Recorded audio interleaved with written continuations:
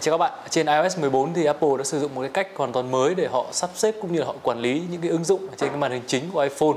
Và Apple gọi đó là App Library, tiếng Việt là thư viện ứng dụng. Đây là một cái cách mà Apple quản lý những cái ứng dụng mà chúng ta không phải dàn trải ra theo nhiều trang ngắn gọn hơn. Thì bây giờ chúng ta chỉ cần tối đa là hai trang là chúng ta đã có thể quản lý được tất cả những ứng dụng ở trên home screen cũng trong video ngắn này mình sẽ nói kỹ hơn về cái tính năng app library ở trên iOS 14 beta 1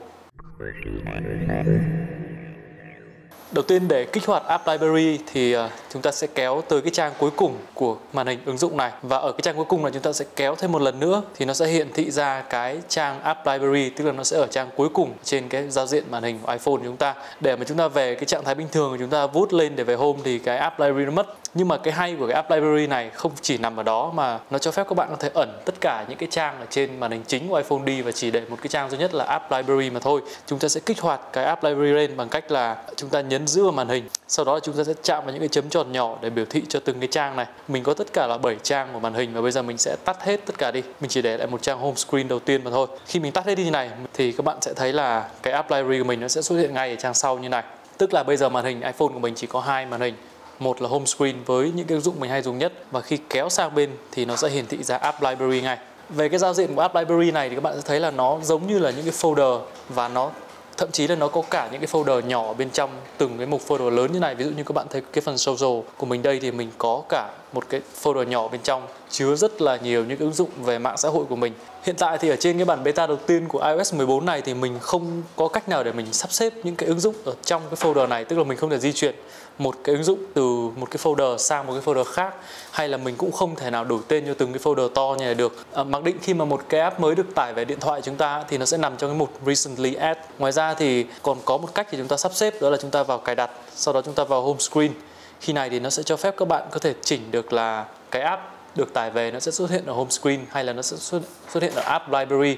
Ngoài ra thì trong cái phần cài đặt này thì các bạn cũng có thể là hiển thị những cái chấm tròn đỏ thông báo ở trong app library, tắt nó đi hoặc là bật nó lên. Từ cái màn hình app library này thì các bạn có thể kéo lên kéo xuống để các bạn có thể chọn từng ứng dụng và các bạn bấm vào đó hoặc là các bạn có thể kéo lên trên cùng thì nó sẽ hiển thị ngay lên cái ô tìm kiếm chúng ta gõ ở đây, chúng ta tìm kiếm ứng dụng.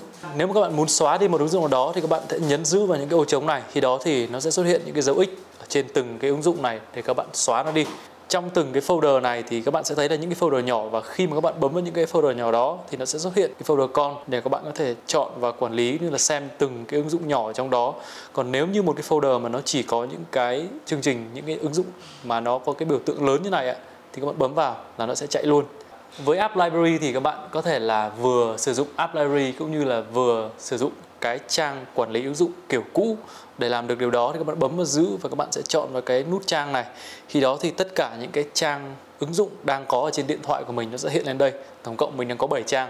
Và ví dụ như mình muốn chỉ hiển thị là ba trang đầu tiên thôi, thì mình sẽ tích vào ba cái trang này. Bây giờ thì khi mà mình kéo qua thì cái ứng dụng của mình nó vẫn hiển thị dạng lưới như cũ cho ba cái trang đó. Khi mình kéo tiếp theo thì nó sẽ hiển thị ra cái app library để nó quản lý những cái trang còn lại. Tức là app library luôn là cái trang cuối cùng ở trên cái giao diện điện thoại của mình. Để mà chuyển từ cách quản lý ứng dụng kiểu app library này về cái kiểu cũ thì chúng ta vẫn làm ngược lại thôi. Bấm và giữ vào đây, bấm vào cái nút trang này và khi đó thì nó sẽ xuất hiện những cái trang à, ứng dụng và mình sẽ tích tất cả.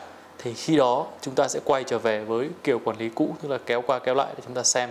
Đó là cơ bản về app library, cái cách mà cái iOS nó quản lý trang ứng dụng cho chúng ta để chúng ta thấy nó đơn giản và dễ dàng hơn. Trong cái à, quá trình sử dụng của mình từ khi à, iOS 14 beta nó ra mắt đến bây giờ thì mình thấy là cái app library này nó giúp mình quản lý vẫn xem được ứng dụng nhưng mà chúng ta sẽ không phải kéo qua kéo lại rất nhiều ứng dụng nữa. Tùy vào cái thói quen sử dụng hàng ngày chúng ta nó sẽ học được cái hành vi đó. Những ứng dụng mà chúng ta dùng nhiều nhất thì nó sẽ xuất hiện ngay ở trong cái app library này tức là cái thư mục chính ấy. còn những app nào mà chúng ta ít dùng thì nó sẽ xuất hiện ở trong những cái folder con. Mình nói luôn về cái độ ổn định của cái bản uh, beta này thì mình thấy là mình cài lên iPhone của mình nó khá là ổn định và không bị lag không bị crash ứng dụng nhưng mà nó sẽ khiến cho cái máy của mình nó nóng hơn một chút và nó nhanh hết pin hơn một chút. Cảm ơn các bạn.